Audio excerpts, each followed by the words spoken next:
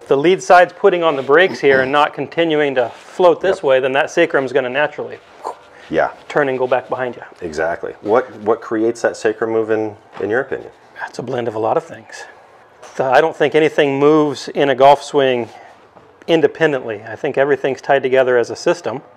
Yep. So the lead leg is definitely putting on the brakes. The torso is starting to unwind and bend. This leg's got to straighten. Makes Yep. the sacrum go around behind you. Yep. It's all a big system-wide thing. Yep. Nothing's doing anything independent of anything else. Man,